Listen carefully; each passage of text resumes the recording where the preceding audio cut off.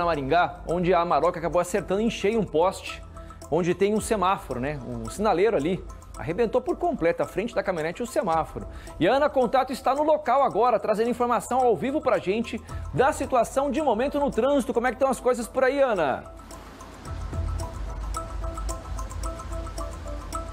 Olha só, Parra, como você vê ao vivo nas imagens do Marcelo Bonomini, o trânsito segue parcialmente interditado por aqui. Nós estamos no cruzamento da Humaitá com a Avenida Maringá, um local bastante movimentado que precisa de semáforo para organizar o trânsito, mas que por enquanto deve permanecer assim durante todo o dia. Você está acompanhando agora o trânsito que segue ali no sentido Zona Sul Centro. O pessoal que sai da Ayrton Senna e sobe aqui na Maringá. Infelizmente, é, a parte da rotatória da Humaitá também, logo aqui atrás, para quem desce sentido Zona Oeste, está interditado. O pessoal está tendo que desviar o caminho porque o semáforo ainda não foi recolocado. Marcelo Bonomini está te mostrando agora que os dois sinaleiros, tanto que ficava no sentido Maringá quanto no que, o que ficava no sentido Humaitá, estão jogados aqui em cima da calçada de uma igreja que fica na esquina das duas vias, porque o acidente foi muito forte. Essa caminhonete que nós vimos na reportagem que foi exibida agora há pouco destruiu o poste e arrancou os dois semáforos. Agora você vai ver que um novo poste já foi recolocado. Hoje de manhã as nossas equipes estiveram aqui, inclusive logo cedinho a Daniela Calçavara e o Alexandre Oshima vieram aqui para mostrar a confusão que foi logo de manhã por causa da falta dessa sinalização.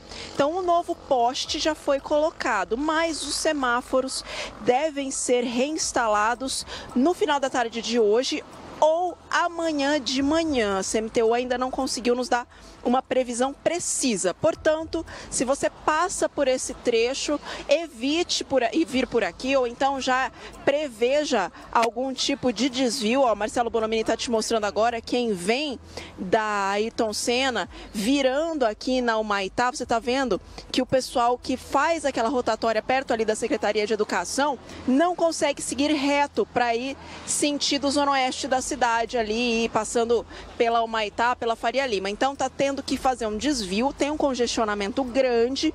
Portanto, se você passa por essa região da cidade aqui, Jardim Quebec, Zona Oeste, está complicado. Dá uma desviada porque realmente o trânsito deve ficar, por, ficar desse jeito por aqui, pelo menos durante todo o dia de hoje, Parra. Meu pai amado, em que ponto também foi ter esse acidente em lugar extremamente complicado, porque é muito movimento. É, o pessoal que está vindo ali em frente à Secretaria de Educação tem que voltar para o Quebec, lá na frente, na Maringá, para conseguir fazer o retorno. Você perde aí por baixo uns 15, 20 minutos, né? Enquanto a gente vê a imagem do Marcelo Bonomino, o semáforo foi recolocado no local, mas até fazer ligação de energia e tudo voltar ao normal, como a Ana disse, né? Pode ficar até amanhã sem esse semáforo estar tá completamente instalado de novo nesse ponto. E eu falei, a conta vai para o proprietário, tá?